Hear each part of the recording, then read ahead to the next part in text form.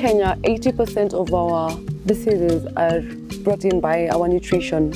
Our solution right now is let's go the organic way. Let's do the right thing and be sustainable.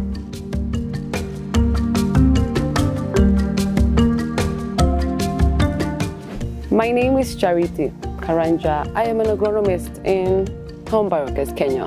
And my role mainly is to work with the smallholder farmers who have a system at their homes and help them enjoy the benefits of using the biofertilizer, which is a byproduct of the system. My farmers are fast my friends because we have built a relationship with them. Bwana Isaac, Charity, ah, habari yako? jema. Nimefurahi sana kukuona. Habari ya kazi? Siku nyingi niko tu.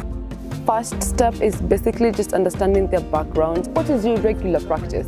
Uh, what crops do you grow? What is your output? How many kgs of produce do you get in every harvest?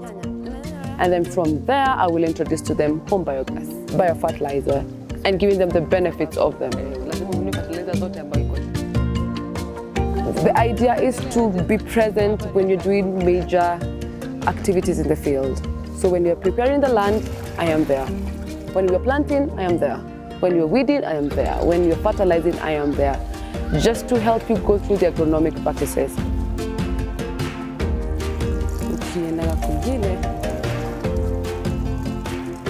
The field research is where I have designed my land into plots and do different examinations in each plot. So then from my visual analysis, I am able to back up my information from the lab.